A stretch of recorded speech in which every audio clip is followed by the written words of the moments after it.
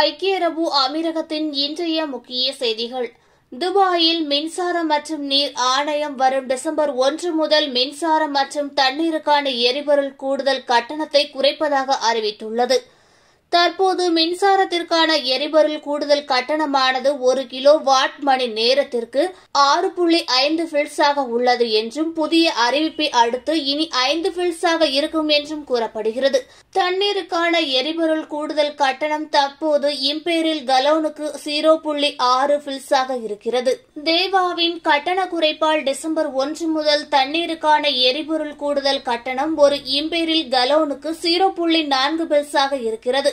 துபாயின் எரிசக்தி கலவையில் புதுப்பிக்கத்தக்க மற்றும் தூய்மையான ஆற்றலின் பங்கை அதிகரிக்க அமீரகத்தின் துணை தலைவரும் பிரதமரும் துபாயின் ஆட்சியாளருமான பெரும் மதிப்பிற்குரிய ஷேக் முகமது பின் ரசித் அல் மக்தும் அவர்களின் உத்தரவின் பேரில் இந்த முடிவு எடுக்கப்பட்டுள்ளது.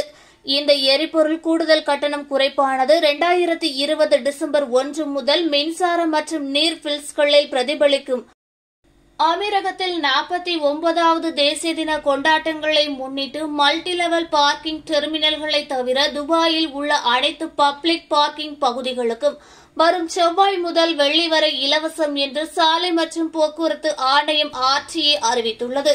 மேலும் வரவுள்ள பொது விடுமுறை காலங்களில் வாடிக்கையாளர்கள் மகிழ்ச்சி மையங்கள் மற்றும் பொது போக்குவரத்து மெட்ரோ டேம் கடல் போக்குவரத்து மற்றும் சேவை வழங்குநர்கள் மையங்கள் போன்றவற்றில் திருத்தப்பட்ட நேரங்களையும் ஆட்சியே அறிவித்துள்ளது.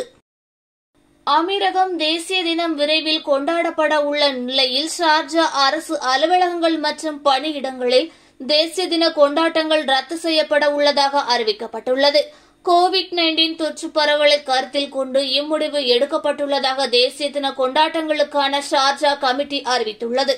அபுதாபியில் உள்ள ஆறாயிரத்தி நூறு குடிமக்களுக்கு ஏழு பில்லியன் கிராம்ஸ் மதிப்பிலான வீட்டுக் கடன்களை வழங்க அபுதாபியின் பட்டத்து இளவரசரும் அமீரக ஆயுதப்படையின் தலைமை துணை தளபதியும் அபுதாபி நிர்வாக குழுவின் தலைவருமான பெரும் மதிப்பிற்குரிய Sheikh Mohammed bin Zayed Al Nahyan அவர்கள் உத்தரவிட்டுள்ளார். மேலும் ஓய்வு பெற்ற குறைந்த வருமானம் கொண்ட குடிமக்கள் மற்றும் கடன் வாங்கி வீடு இறந்தவர்களின் குடும்பங்களுக்கு கடனை திருப்பிக் கொடுக்க செலுத்துவதிலிருந்து விலக்களிக்கப்படுவதாகவும் கூறப்படுகிறது.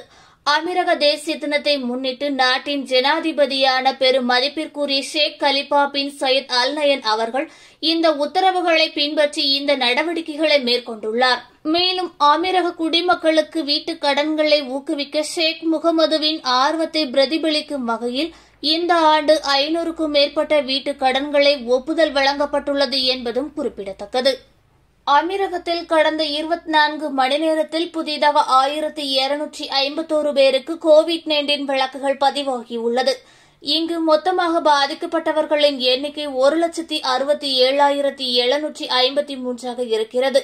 இன்று மட்டும் புதியதாக எழுநூற்றி முப்பத்தி ஆறு பேர் குணமடைந்த வீட்டிற்கு அனுமதிக்கப்பட்ட நிலையில் இங்கு மொத்தமாக குணமடைந்தவர்களின் எண்ணிக்கை ஒரு லட்சத்தி ஐம்பத்தி நாலாயிரத்தி நூற்றி எண்பத்தைந்தாக இருக்கிறது.